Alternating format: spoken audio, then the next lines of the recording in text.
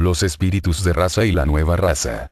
Del libro Cartas a los estudiantes, de Max Seidel siendo muy respetable el número de estudiantes que no están suscritos a la revista, en la que se publica actualmente un artículo muy importante sobre el lado ocultista de la guerra, creo de interés general dedicar esta carta mensual a resumir los hechos, seguro de beneficiar así tanto a unos como a otros, ya que no intentaré copiar, sino hacer consideraciones improvisadas con lo que resultará la indicación de puntos nuevos. Usted recordará cómo cada una de las naciones interesadas en este triste negocio ha procurado declinar la responsabilidad, desde el mismo principio.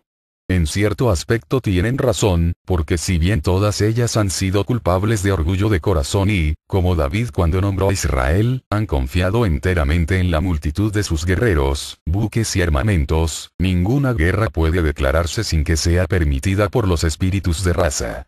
El espíritu de raza guía a sus protegidos por el sendero de la evolución y, como Jehová, por ellos pelea o permite que otras nacionales les conquisten cuando cree que es necesario obrar así para enseñarles las lecciones que su avance requiere.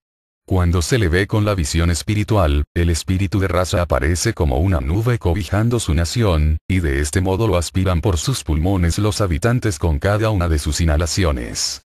En él estos habitantes viven, se mueven y tienen sus seres, real y verdaderamente. Por medio de este proceso quedan imbuidos del sentimiento nacionalista que llamamos patriotismo, el cual incita tan poderosamente en tiempos de guerra, que todos se sienten dominados hasta cierto grado y están dispuestos a sacrificarlo todo por su patria. América carece todavía de espíritu de raza es el crisol donde diferentes naciones se han amalgamado para extraer la simiente de una raza nueva. Por consiguiente, es imposible levantar un mismo sentimiento universal que haría mover a todos sus habitantes en una misma dirección como a un solo hombre respecto a cualquier punto. No obstante, comienza a aparecer esta nueva raza. Puede reconocerse por sus largos brazos y miembros, su cuerpo flexible, su cabeza larga, pero un tanto estrecha, coronilla alta y frente casi rectangular. Dentro de pocas generaciones es de esperar que un arcángel la tomará bajo su protección para dar la unidad.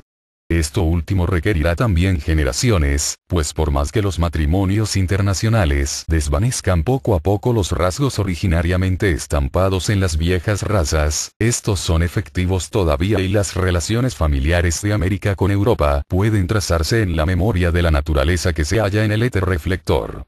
Hasta que esta huella haya sido totalmente extinguida, no habrá quedado enteramente roto el lazo con el país ancestral y las colonias de italianos, escoceses, alemanes, ingleses, etc., subsistentes todavía en distintas partes de este país, retrasan la evolución de la raza nueva. Probablemente llegará la edad acuaria sin haber desaparecido del todo esta condición y antes de que la raza americana haya quedado establecida completamente. Si miramos hacia los acontecimientos de los últimos 60 o 70 años, nos será evidente que esta ha sido una época de escepticismo, duda y crítica de los asuntos religiosos. Las iglesias se han visto cada día más vacías y la gente se ha dedicado a la persecución del placer abandonando la adoración de Dios. Tal tendencia estaba en su auge al estallar la guerra en Europa y lo sigue estando en algunas ciudades y centros científicos de América. Como resultado de esta general actitud de pensamiento alimentada por los hermanos de las sombras con el permiso de los espíritus de raza, así como legendariamente fue tentado yo por Satanás, uno catarata espiritual ha cubierto los ojos del mundo occidental y que debe ser extirpada antes de que pueda proseguir la evolución.